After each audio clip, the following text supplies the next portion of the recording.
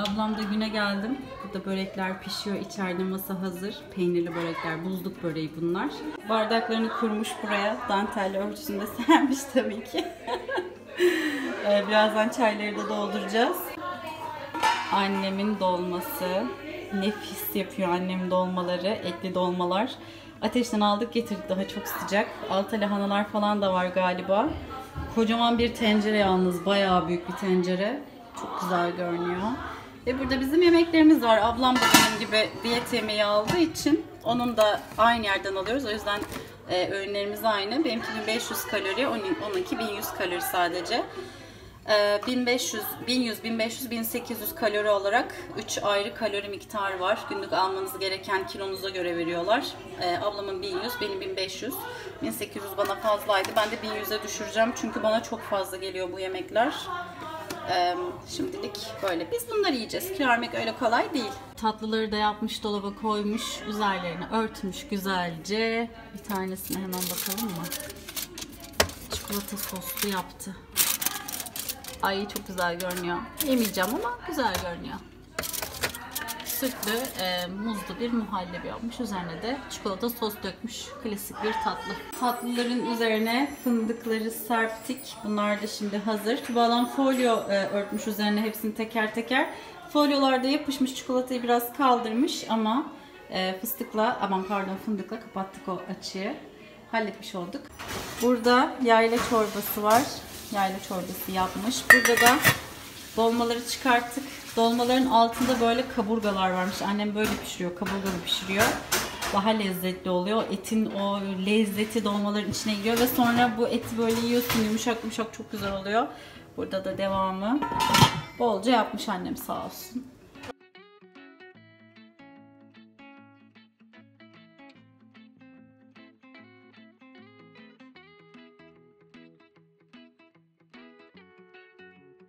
Şimdi e, Hümeyra abla e, çiğ köfte yapıyor. Bu yapmış, hazırlamış böyle, getirmiş. Şimdi şekil veriyoruz yeşilliklerimizin üzerine. E, Hümeyra abla bu çiğ köfteden sipariş alıyor. Çok da güzel güzel yapıyor. Ne koyuyorsun içine? Etli mi? Etsiz değil mi? Etsiz yapıyorum. Daha güzel işte. Ben ya etsiz bunun aslında yiyorum. çok güzel olmasının nedeni her şeyin organik olması. Ha, bahçeden değil mi? Yani şöyle benim e, bahçemde nar ağacım var. E, Hmm. narlarım çok ekşi oluyor. Normalde benim narlar tatlıdır ama benim narım özellikle çok ekşi bir nar. Ha. Ve bunlar e, özellikle nar ekşisi yapmak içinmiş. Ha, Ben de yeni sen yeni ekşisini öğrendim. kendin Nar yaptın. ekşisini kendim yapıyorum. Zeytinyağımı da özel getirtiyorum. E, bulgurum da özel. Esmer Çok şanslıyız. Ömer bugün çok şanslı. evet. yani burada e, salça dahil olmak Acısını da üzere. insanlara göre ayarlıyorsun değil mi? Acıyı ben hep az kullanıyorum. Herkes kendi isteğine göre acıyı ona göre ekliyor, ilave ediyor sonrasında. Hmm. Zaten isotun vermiş olduğu bir acılık oluyor ya bunun içinde. Yetiyor. Ben zaten Yani çok hiç evet. sevmiyorum. Pul biberi çok az kullanıyorum. Yani bir çay kaşığı kadar şey Hmm, atıyorum. çok az, iyice az. Çok az. Ama yediğiniz zaman göreceksiniz. Aynen, Öyle az gibi değil. Ee, bunun asıl olayı... Ay limonla var ya. Limonlarınızı da. Kullandığım Limonlarımız da ekşisi hazır. zaten çok fazla limon bile gerektirmiyor. Normal şartlarda bunu yarım saat e, yoğuruyorlar. Ben öyle yapmıyorum. 1 saat 10 dakika kadar yoğurtuyorum. O bayağı uzun süre yoğuruyorsun. Yarım saat dinlendirdikten sonra bir daha biraz daha zeytinyağı koyup tekrar yoğuruyorum. İçinde bol maydanoz koyuyorum. Maydanozu içinde böyle Ya. Ama ne kadar- Emek verilen şey tabii ki güzel olacak. Aynen. Ne kadar böyle evde yapıldığı o kadar belli ki dışarıdakilerin rengi bile o kadar farklı, o kadar Kesinlikle. güzel ki çok doğal duruyor. Ya salatasını zaten e, çok sevdiğimiz bir ablamız kendisi yapıyor. Adana'dan gönderiyor bize. Bayağı her şey. Evet her şey Usulü. oluyor. Ya bu ne? Bu şöyle başladı Sümeyye. Ahmet benim oğlanı biliyorsun çok çiğ köfte seviyor. Evet. Bilal de öyle. Evet. Ve devamlı çiğ köfte alıyorlar dışarıdan yiyorlar. Ben de bu duruma çok rahatsız oluyordum hani çok fazla yedikleri için. Böyle başladım denemeye bunu. He. İlk başta bir Kıvamı tutturana tutmadı, kadar. Evet. Böyle internetten tarih tarih baktım, bu işi bilenlere sordum. Kendim yaptım. Bazen tutmadı, bazen tuttu oldu. En sonunda şu anda bir şey tuttu yani. Bayağıdan beri, Süper birkaç ya. yıldan beri. Böyle gidiyor. İsteyen arkadaşlarım oluyor. İşte getir, yiyelim, edelim diye. Herkese artık hediye götürmeye başladım her gittiğim yere. Ama arkadaşlarım artık rahatsız oluyorlar. Parasıyla satın almak istiyorlar. İyi diyorum bazen satıyorum onlara. Böyle bir... Çünkü herkesin çok canı çekiyor. Baksana dondurucuda falan bekler mi peki? Dondurucuda beklemez yani ama e, bir gün önceden yaparsanız veya iki gün önceden yaparsanız buzdolabında bekliyor. Ha iki gün önce Kapaklı bir olabilir. tabağın Sıkıntı içinde. olmaz. Ama o zaman bir ben gece önce yapıldı ilk mesela. misafirimde yine yapar mısın? Tabii ki. Şeklini böyle verip mi gönderiyorsun yoksa? ben normalde böyle güzel süslüyorum. He. Sunum hazırlayıp getiriyorum ama Tuğba yakın arkadaşım. Çocuğum da ateşli olduğu için. He. Bugün böyle getirdim geldim İyi yani. yapmışsın boş ver. Dedim Tuğba tabağı hazırla. Ben gelince orada sıkı veririm demiştim. Aynen iyi oldu. İşte Bayağı böyle. da çok ya. Bu bir kilo mu? Bu e, aslında Tuğba bana bugün bunu tartalım demişti. Ben hiç böyle satışını yapmadığım için bunun. He. e, Tartsaydık keşke baştan. Tartsaydık keşke. Bir kilo diyordum ben ama bence daha fazla. E, belki bilen arkadaşlar varsa hesaplayabilirler. Benim için de iyi olur. e, 4 su bardağı ince bulgur.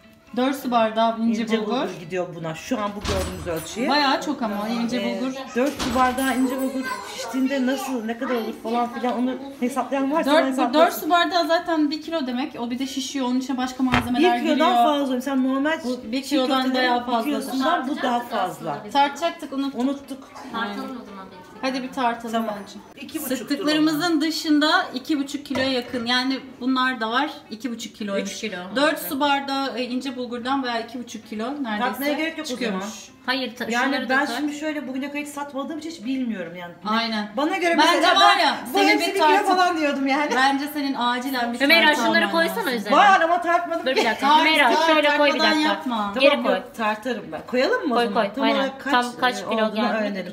Yani 2 su bardağı bulgurdan yaptığım içli köftenin. O zaman 1 kilo olacak. Ee, bir de kaç kişiye yeter sizce? Onu da böyle bir Aynen şey onu yapalım. da hesap edeceğiz. Son sıkım bir halinde kiloda kaç gösterelim. tane var diye.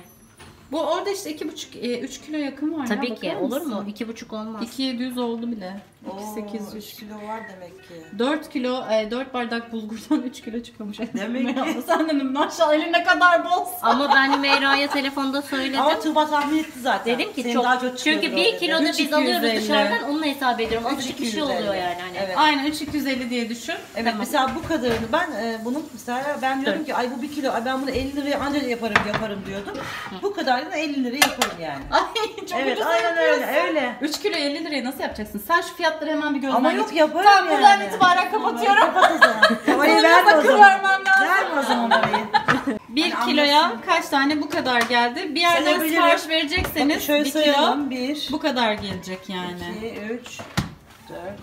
Burada daha 2 kilo daha var. Yani sen sipariş alırken 1 kilo yapacaksan bu kadar Tabii bunu yapacaksın. daha az küçük de sıkılabilir. Mesela ben büyük sıkıyorum. Bir e, İsteyen daha Aynen. küçük sıkabilir.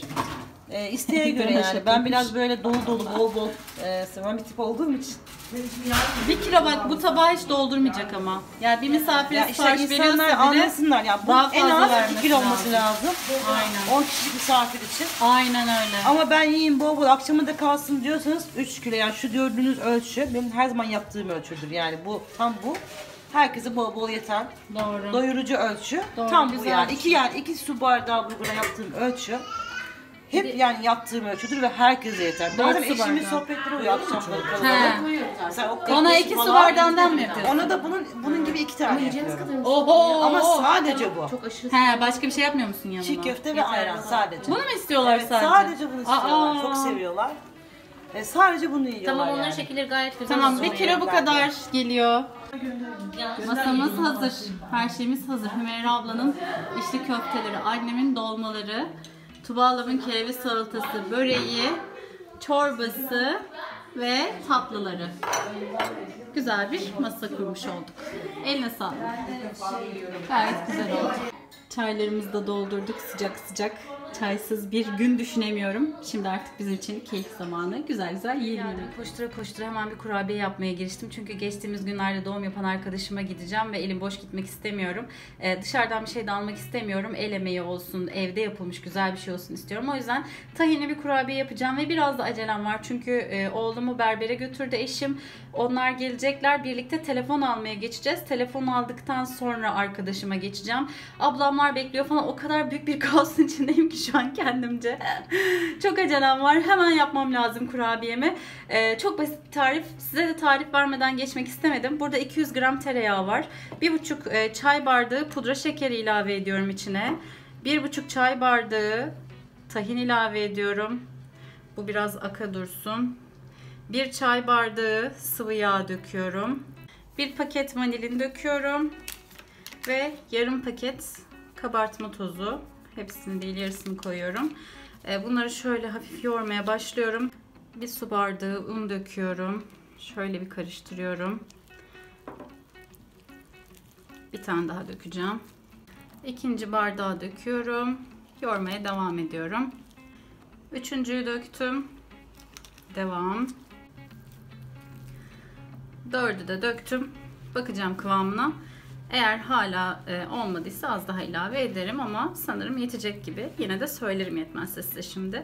Hiç ölçülü yapmadığım için e, genelde göz kararı yapıyorum. O yüzden size ölçü vermek için teker teker bardakları saydım. Şu an iyi gibi ama biraz daha un alacak sanki.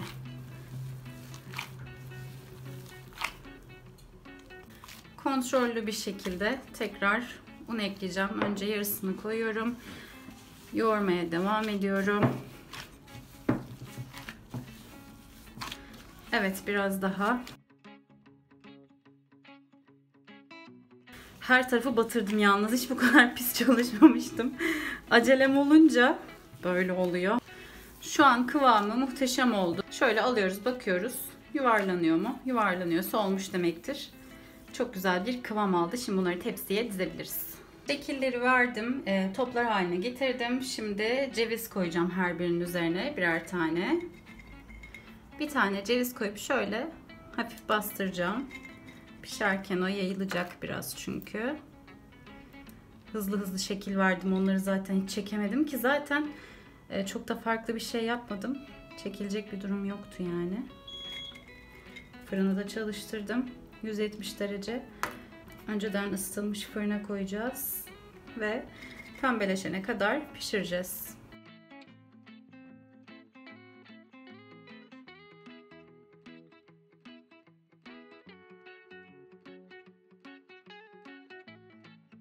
Evet hepsi hazır. Ee, cevizlerini de dizdik üzerlerine. Şimdi fırına verebilirim artık.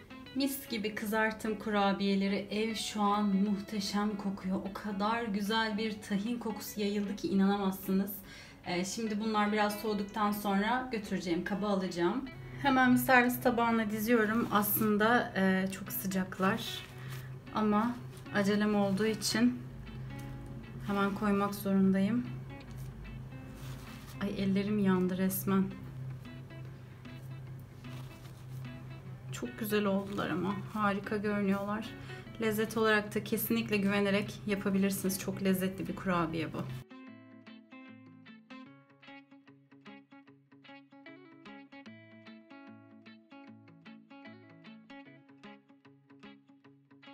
Ağzı hafif açık bir kaseye koydum ki nefes alsın. Çok sıcak olduğu için buharlaşıp iyice yumuşamasın diye. Ee, şimdi bu arkadaşıma gitmek için hazır ama öncesinde dediğim gibi gidip telefon işimi halledelim bakalım. Anneciğim bak bakayım bana bir. Allah'ım ne kadar yakışıklı olmuşsun. Bu jöleler falan babam yaptırdı bunu böyle? hadi koş bakalım hadi. Hemen geldi. Bir tane oyun buldu. Oynamaya başladı bizimki. Aşkım, anneciğim. O kadar da konsantre ki görmüyorum. Her geldiğimizde mutlaka böyle bir oyun oynuyor. Bu arada ben bunu alıyorum. Bunun gümüşünü alıyorum. XS Max 256 GB. Çünkü çok video çektiğim için depolamanın geniş olması lazım. İyi bence. Şimdiki 128 diye yetmiyordu zaten o yüzden değiştiriyorum. Bence güzel olacak. Benimki şu. Benim aldığım yani şu renk. Bunun XS Max modeli yani şu model. Eşim orada işlemleri halletsin. Buradan oyun alanına geçeceğiz. Çünkü Yusuf oyun alanına gitmeden katiyen asla dönmez.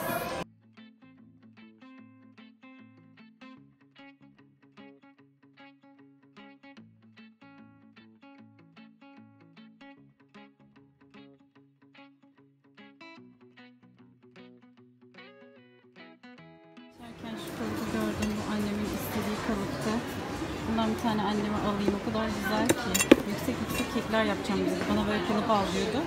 Tamam.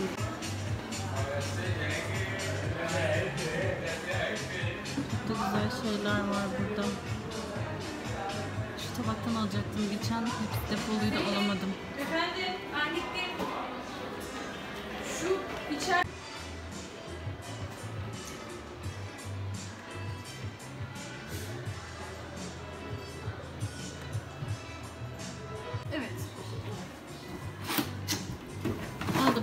Bir şey var mı? Tamam güzel. Gayet güzel. Biri annemin biri kayınvalidemin. Bir de bunlar çok güzelmiş. Mermer desenli. Bunlardan da bir tane şöyle alayım diyorum. Ne kadarmış fiyatına da bakalım hemen. 12.90. Kek kalıpları ne kadardı tanesi? 99. 99 evet. Ben kek kalıplarına dalınca eşim götürdü oyun oynatmaya. Şimdi artık gidebiliriz.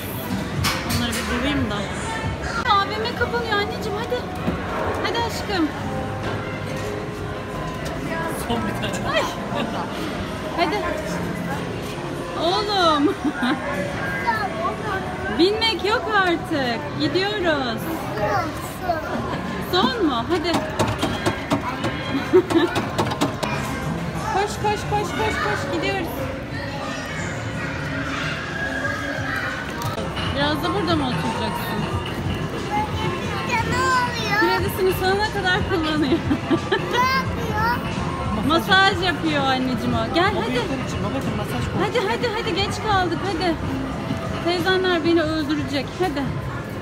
Kurabiyem ve ben arkadaşıma gitmek için nihayet arabaya binebildik. O kadar geç oldu ki bekliyorlar benim gelmemi. Hala bekliyorlar. Yusuf'ta da bir öksürük. Aman Allah'ım. Fakat alerjik gece bir tane zirtek içiyor. O ona yetiyor. İnşallah birkaç gün Evet geldim. Bebeğimizin odasını gezdireceğim size. Ama önce herkesten bir maşallah istiyorum. Ee, nazar olmasından çok korkarım böyle şeylerin. Burada hastane odasındaki kurabiyeler var. Buraya koymuşlar şimdilik. Sonra burada raflar var. Ondan sonra burada benim aldığım emziği var. Hediye olarak yaptırmıştım. Bebek arabası. Bebek arabasının markası e, Cruise diye bir marka. Uppa Baby yazıyor. Ben bilmiyorum tam olarak markasını ama kullanışlıya benziyor. Çok bayağı hafif. Hamile hanımlar bakabilirler. Çok da tatlı bir süs koymuşlar. Allah'ım şunun tatlılığı. O kadar tatlı bir bebek yavruşum maşallah minnacık. Buraya bir e, koltuk koymuşlar. Ondan sonra burada bir e, yatağı var. Yatağı çok güzel. Kocaman. Çok kullanışlı. Sonra yatak örtüsünü göstereyim yakından. Güzel bir yatak örtüsü yapmış. Almış daha doğrusu. Burada dolabı var. Ay yatak örtüsüyle şeyler takım. Duvar kağıtları takım. Çok güzel olmuş. Buradaki şey belki de yatak örtüsünü mü onu uydurdu? Hangisini? Neyse sorarım birazdan. Dolabı da çok güzel. Üç kapılı. Hem de altları çekmeceli. Çok kullanışlı. Rahat rahat uzun seneler kullanabilir. Hem de e, model olarak çok böyle hani cicili bicili bir şey olmadığı için uzun süre kullanabilir. Böyle şeyleri ileride kullanması için çok mantıklı böyle şeyler yaptırmak. Çok beğendim. allah Teala ağız tadıyla e, hayırlı bir evlat büyütebilmeleri nasip etsin. Safa adı ayrıca. Şurada emzik askısı var. Çok tatlı bir emzik askısı. E, odası böyle.